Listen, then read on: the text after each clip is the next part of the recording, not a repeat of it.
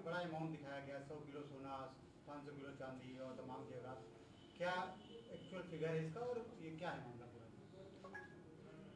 रुचिर सक्स रुचिर रस्तोगी जो Jugal Kishore and sons के एक प्रोप्राइटर्स में एक हैं, उनका कहना है कि उनका और उनके चाचा मिस्टर पंकज रस्तोगी का आपस में डिस्प्यूट चल रहा है। वर्ष 2013 में डिस्ट्रिक्ट कोर्ट कानपुर में एक डिस्ट्रिक्ट जज साहब की तरफ़ से एक आदेश हुआ जिसमें जो उनकी शॉप है, उसको प्रिजर्व करने के लिए आदेश किया गया कि जब तक इनका आर्यूटेशन नहीं हो जाता है, तब तक ये प्रॉपर्टी प्रिजर्व रहेगी। लेकिन उनका कहना है कि इसका पंकज रस्तोगी और उनके कुछ लोगों ने उल्लंघन किया और अभी पिछले, इसी अक्टूबर के माह में, पिछले कुछ दिनों पहले उस दुकान का हमारा सारा सामान निकाल के चीज़ें गायब कर दी हैं। इस संदर्भ में थाना फीलखाना में उनके चाचा पंकज रस्तोगी और कुछ अन्य लोगों के खिलाफ मुकदमा पंजीकृत किया गया है। सर कितने लोग हैं इस मुकदमे में? इस मुकदमे में पंकज रस्तोगी के अलावा दो उनके काम करने वाले हैं और एक उनके पंकज रस्तोगी के बड़े भाई अंबुज रस्तोगी के खिलाफ मुकदमा पंजीकृत है। अभी तक किसी को गिरफ़्तार करा पुलिस ने?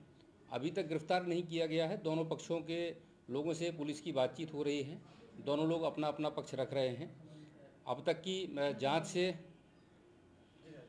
अब तक की जाँच से जो तथ्य सामने आया है पंकज रस्तोगी जी ने माननीय उच्च न्यायालय इलाहाबाद का एक आदेश पुलिस को प्रोवाइड करवाया है कि माननीय उच्च न्यायालय ने एक आदेश पारित किया था जिसके आदेश के अनुपालन में उन्होंने मिस्टर अंबुज रस्तोगी को उस दुकान का पोजीशन दिया है। जबकि रुचि रस्तोगी का ये कहना है रुचि रस्तोगी से बात होने पे जो बात हुई है उनका कहना है कि ये जो दुकान थी दुकान में प्रोप्राइटर के तौर पे मिस्टर पंकज रस्तोगी और रुचि रस्तोगी थे। इन दोनों ने क्या किया? जब इनका डिस्प्यूट चल रहा था डिस्ट्रिक्ट कोर्ट में तो जो डिस्ट्रिक्ट जज साहब के यहाँ से आदेश हुआ, उसका पालन करना चाहिए था।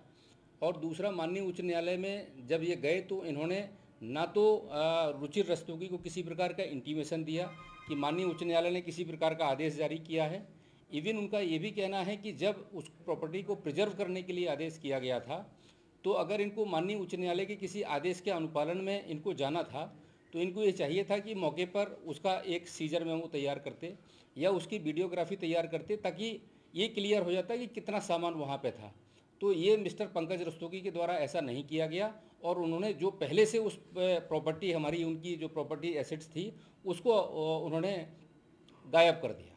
इस मामले में दोनों पक्षों के जो रिकॉर्ड्स हैं पुलिस ने मांगे हैं और जो उनकी बैलेंस शीट और बाकी चीज़ें आएँगी उसके बाद जाँच से अंतिम निष्कर्ष में हम लोग पहुँच पाएँगे। सर कितना सामान जो बताया है वो सामान है क्या? सौ किलो सोना जो मिस्टर अ, रुचि रस्तोगी ने एफआईआर कराई है उसमें बताया है कि उसमें उनकी जो एसेट्स थी वो लगभग सौ किलो सोने का सामान था चांदी का सामान था और कई हज़ार कैरेट्स में हीरे और जवाहरात की बात बताई है।